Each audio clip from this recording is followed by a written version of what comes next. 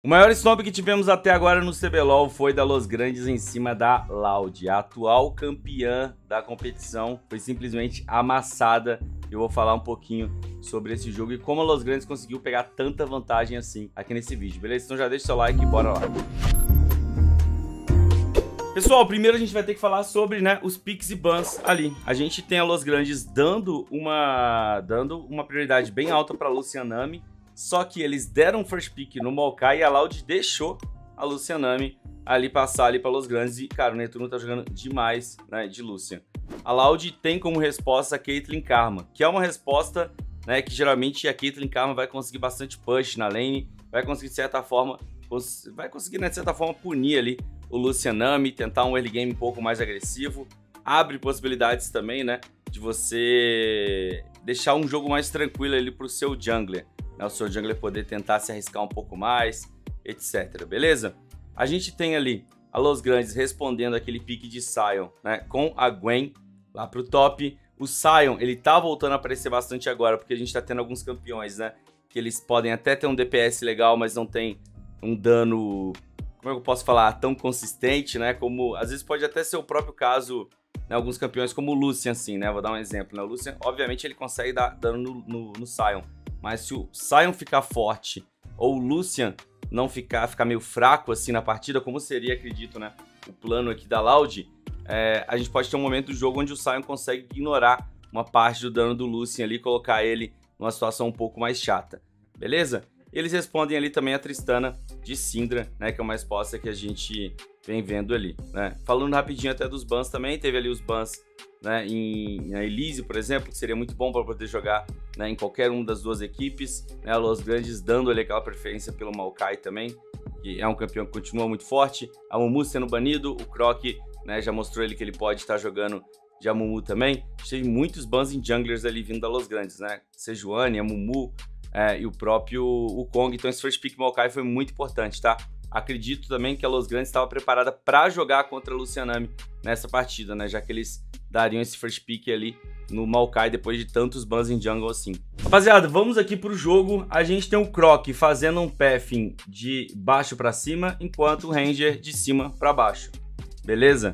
É... Teve um clipe, cara, da live do Minerva que ficou bem famoso ali, né? Onde ele fala sobre Kate Lux, assim, por exemplo, que geralmente o jungler sempre vai fazer o pathing pra Kate Lux. Né? A gente tem o Croc, na minha visão, sendo tentando fazer uma adaptação ali, né? Ele não faz o full clear para cima, ele termina ali deixando os Krugs dele de lado e ele vai entrar ali no rio, né? A grande questão é assim, cara, o Maokai vai estar tá level 4 e ele vai estar tá level 3, o Ranger consegue chegar nesse, nesse Scuttle ali antes e a gente tem o, Croc só desistindo disso. Isso também abriu um espaço então para que o Netune e o Zai conseguissem jogar dessa forma mais agressiva ali no início do jogo, né? Então a gente tem o Root, por exemplo, já perdendo o rio ali dele e tudo mais, eles conseguindo pressionar um pouco a lane, né? Enquanto o Croc teve que voltar, né? O Croc não conseguiu fazer, não conseguiu disputar aquele rio ali, aquela parte de baixo ali do mapa. Rapaziada, acho legal também a gente comentar sobre o recal dos dois junglers. O Ranger, eh, o Ranger ele conseguiu fazer um recal bem cedo, né? É, já pegou ali o Rubi e o Livrinho, enquanto o Croc vai poder talvez começar esse recal dele ali agora aos 5 minutos. Então o Croc ainda não tá com nenhum item também. Né? O Croc também tá tentando um recal um pouco com mais gold ali que o Ranger. Né? O Ranger, como esse primeiro item do Maokai também, né? a gente sabe que é, a, é um abraço demoníaco, então permitia isso ali pro, pro Ranger poder dar esse recal nesse momento. O Ranger vai tentar esse gank aqui no top, né? O Croc vai responder muito bem ali na minha visão. Mas, cara, agora eu acho que assim, na minha visão, velho, essa jogada tinha dado muito bom pra Loud, né? Eu acho que tava numa situação legal ali, né? O gank pra, pra Loud, até chegar nesse ponto aí onde o Croc ele vai tentar meio que 50-50, né? Tentar acertar ali o Ranger. E o Hirit vai acabar pegando 6 ainda com a XP da kill. E vai, cara, double kill, praticamente um Hirit Aqui, para mim, o plano de jogo da Loud já foi muito por água abaixo, tá? Eu acho legal a gente citar esse momento aqui, ó, em que, cara, o Ranger já tem visão do Croc, ele sabe que o Croc tá ali e mesmo assim ele vai continuar ali no gank, né? É, pode parecer assim, eu tava achando que, cara, o Ranger vai ter que desistir desse dive porque não tem como, né? O Croc vai estar tá ali, ele vai ver o Croc, ele vai desistir do dive. O Ranger jogou muito bem aqui, porque ele sabia que ele não morreria, né? Ele pode dar o W pra cima do robô, pode combar o robô.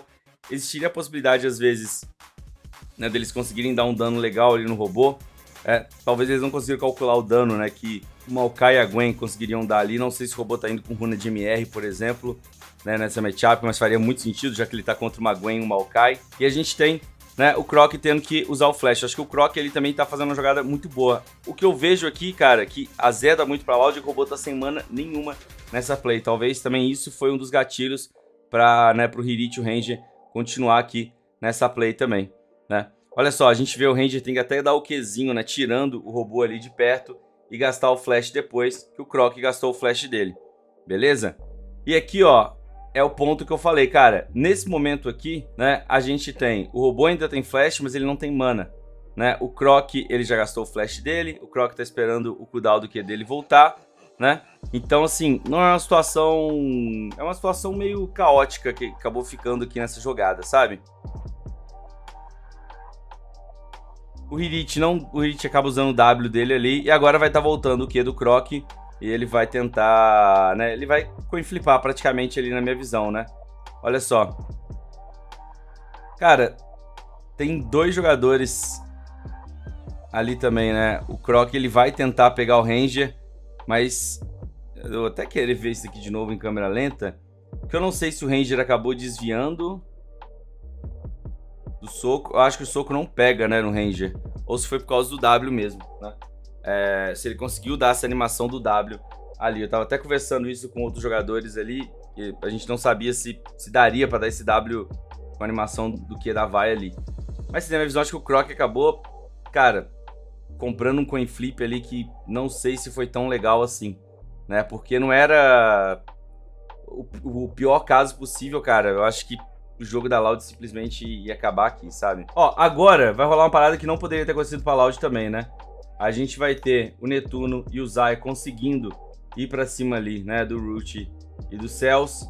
É, enquanto isso, vai rolar um gank do Ranger no mid, onde o Tim vai morrer. O Cells, ele acaba morrendo lá embaixo, né? E depois o Root vai tentar cobrar o Root vai tentar cobrar o Cells nessa play também, né? Para poder matar o Cells, né, por exemplo, o Netuno gastou flash.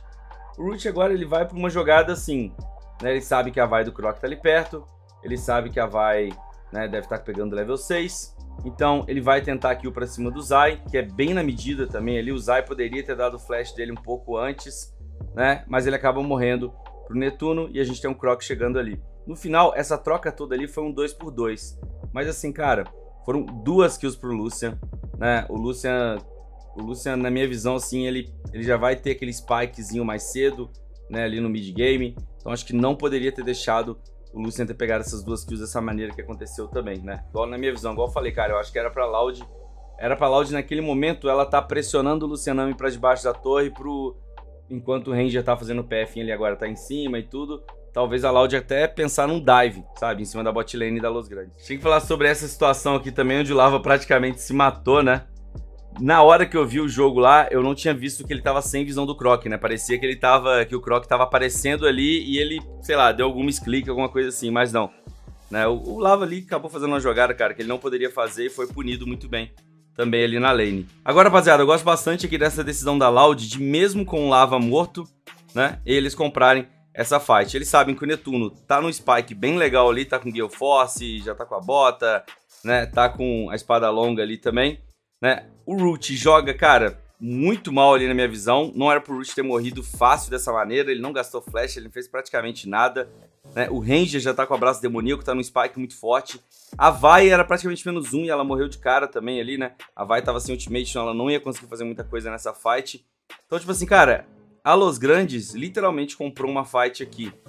3 versus 5 e ganhou. Vocês têm noção disso? Porque o Lava, olha só, o Lava, ele só chega no final a gente tem o robô aqui, né? A gente tem o Croc morrendo de cara, a gente tem o Root morrendo de cara. E eles ficam numa situação de 3, né? De 3 versus 3 aqui. E eles ainda estão ganhando, né? Então, assim, muito bizarro essa situação. Esse spike do Lucian foi muito forte ali, né? O, o Root jogou muito mal nessa fight, né? O Netuno jogou muito bem ali também. Né? Eles conseguem aqui em cima dos céus. E aqui, velho, o jogo que já tava assim, complicado, ficou mais bizarro ainda, né? Porque o Lucian ficou forte demais, então esse Sion não ia aguentar mais o Lucian, né? A Vai morreu ali, tipo assim, ficou mais atrasada ainda no jogo dela também. Né? A gente tem o Root morrendo, perdendo Wave, tudo de uma maneira que ele não poderia ter morrido. E a partir de agora o Netuno vai ficar muito grande. Enquanto rolou tudo isso, cara, o Hirit pegou plate no top, ficou de boa lá. Então, assim, ficou muito ruim mesmo a situação aqui pra Loud, sabe? Cara, a, a, a Los Grandes fica tão na frente, cara, que, mano, eles vão levar um inib ali com, sei lá, 18, 19 minutos. É muito cedo, né? Olha só, a gente vê, né, o Croc, ele já, nesse momento ele é um a menos, tipo assim, o Netuno tá tão forte com esses dois itens é, ainda tem uma Tristana que tá forte assim também, ela não tá fraca ali no jogo nesse momento. E, cara, se a Vai. A, a Vai ela tá morrendo em três tapas do, do Lucian. Três, quatro hits ali que o Lucian dá nela. É muito dano que ele tá causando. Então, assim, é um jogo que é praticamente impossível pro Croc jogar agora. É um jogo que é praticamente impossível pro robô jogar agora. E. Em contrapartida, né? Cara, a Caitlyn não tá dando tanto dano assim, sabe? Ainda, né? A Caitlyn vai precisar de mais itens. E eu queria falar também que eu gostei muito da decisão do Ranger de ter ido pra. de ter ido pro, pro Radiante aqui depois, né? A Virtude Radiante e tal. Ele poderia ter ido para aquela build AP que todos os junglers do CBLOL tá fazendo, mas ele resolveu ir para uma build mais tanque ali, porque ele entendeu, cara, o Netuno tá muito forte aqui, a Tristana tá muito forte aqui, o Hirit tá muito forte. Cara, ele não precisaria de dar dano não, tá ligado? Ele pode ser só o cara que às vezes vai poder dar um flash W pra cima de alguém para poder né, explodir uma teamfight e não ser tão punido igual ele seria se ele tivesse AP, por exemplo, sabe? Agora nesse caso aí, olha só. Cara, o Ranger consegue ele pra cima, no final, assim, acho que qualquer build ele, ele ia matar, mas em algumas situações, assim, se é que vocês me entendem, né, sabe? Ele poderia ter ido, ele poderia, poderia abrir outras janelas, assim. Então, rapaziada, depois disso não tem muito o que falar, velho. A Los Grandes dominou o mapa todo, levou tudo e virou um passeio completo, assim. Foi o jogo mais clean que a gente teve aqui agora, até agora aqui no CBLOL por parte de um time queria falar assim, cara, o Ranger para mim fez um game ele também né, quase perfeito. É, desde o pathing dele que ele escolheu e tudo mais, tentando talvez uma possibilidade de ter que aliviar a pressão da Lucian Karma. E o Netuno e o, o Netuno e o Zai também fizeram uma lane phase muito boa. Igual, cara, eu acho que assim, a Loud perdeu esse jogo naquele, né, com o flip que o Croc comprou lá em cima.